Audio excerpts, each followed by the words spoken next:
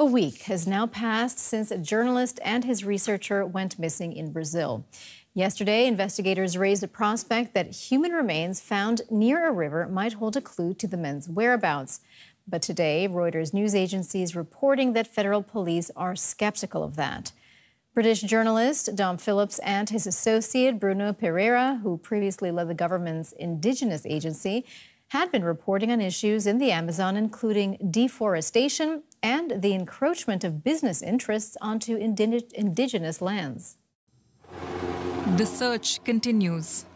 British journalist Dom Phillips and Brazilian indigenous expert Bruno Pereira were last seen on June 5th. The two had received threats as they conducted research in Brazil's Javari Valley, a forested region which has seen a surge in illegal fishing, logging, mining, and drug trafficking. Police have arrested one man so far, suspected of tailing the missing men. A spot of blood was found on his boat. Locals have joined in on the search too, but there is still no sign of the missing men. We haven't found anything.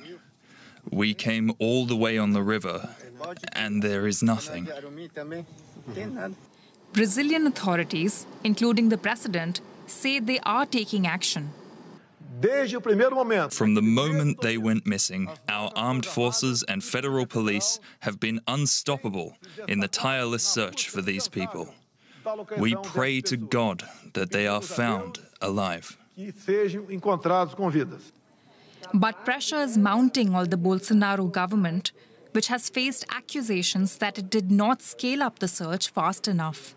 The disappearances are a reflection of a state policy of complete disregard for the environmental cause, for protected areas, for the public servants, for state servants fulfilling their function, and for the indigenous themselves in their own territory. The far right president has also been criticized for allowing a surge in deforestation in the Amazon and pushing to open protected indigenous lands to mining, subjects the two missing men were looking into.